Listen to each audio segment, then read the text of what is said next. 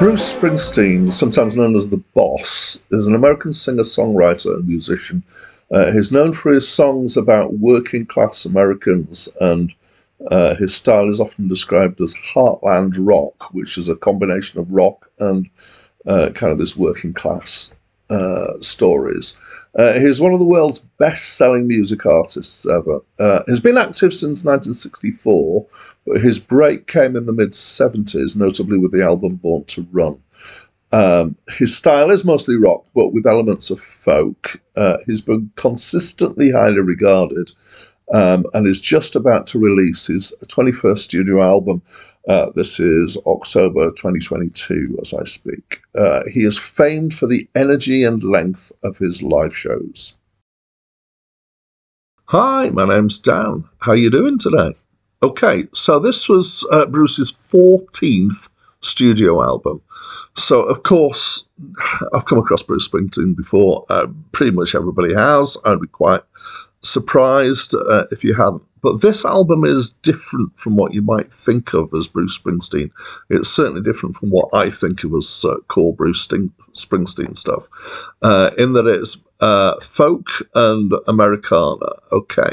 Um, now, I have come across this side of, of Bruce before, but only fairly recently. So I'm uh, I'm in a an album of the week club, which is a bit like a book of the month club, uh, except uh, every week somebody nominates an album, and uh, we listen to it, and then we put comments in, and we, we do it all on Facebook. Um, and uh, not that long ago, uh, about six months ago, I think it was, uh, somebody nominated a live album from Bruce Springsteen, which was uh, the, the, live album of this material, but then expanded and with the same band pretty much uh, live in Dublin. So I have heard some of these songs and uh, these arrangements, but in the live setting before. Uh, so they're uh, traditionally traditional songs mostly. There's certainly none of them are written by Bruce, um, and they're particularly songs that had been made popular by Pete Seeger, um, who was an activist rock singer. Um, uh, I knew some of the songs, uh, so I recognise some of them from my previous encounter, but I also have come across some of these songs uh, from you know way back, um, and um, yeah, uh, so it's not the E Street Band who are Bruce's most uh, used band, uh, but one of the E Street Band who was, who was a violinist connected in with some other in, musicians from New Jersey and New York who were obviously in this these kind of traditional instruments being used, and then uh, um, he also used the Miami horns uh, as a horn section for this. So we've got in here in the mix um,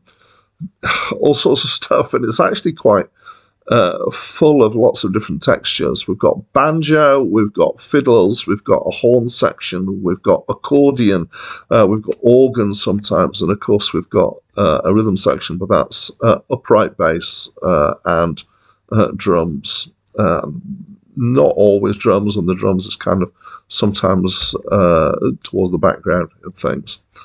Um, and it's broadly speaking, Americana, which is a great term. I like it because it just encompasses so much of uh, of this kind of space, which is kind of somewhere between the folk, the blues, the country, and all those things.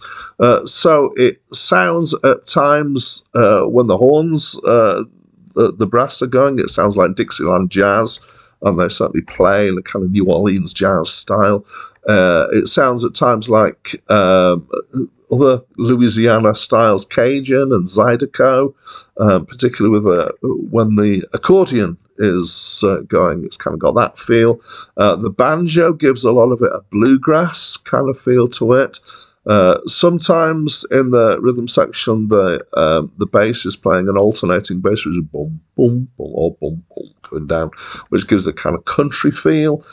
And then there are parts where there's quite a few people singing. It feels choral, which then gives it a spiritual feel. And it kind of slides between all these different things, and almost as if to say, actually, look, the the music, the chords are very very similar uh, between these, and so we just kind of embrace the whole thing. It's generally got a kind of folkness to it, Um, I'm slowly getting to grips with what folk means in an American sense rather than in a a British and particularly Celtic sense, which is where my folk background is from.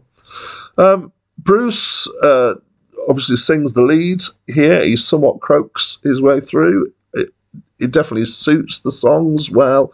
Got some strong performances. Sometimes I felt like he was particularly kind of doing a, a, a Tom Waits approach. Um, if you don't know stuff about Tom Waits, then just forget that.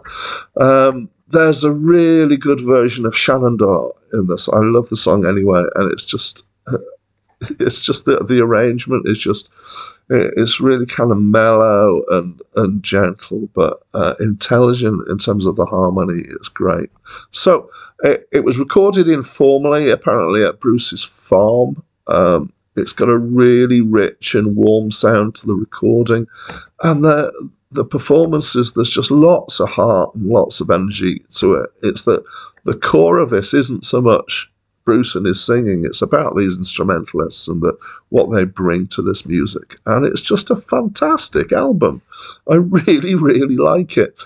Um, and if you'd asked me or, or, told me a couple of years ago that I would be saying how much I love a Bruce Springsteen album, I would have thought that you were. Yeah, yeah, you, you, something was wrong. Uh, but I do. I absolutely adore this album. It's great. So, uh, what do you think? Please let me know in the comments below. That's it from me for now.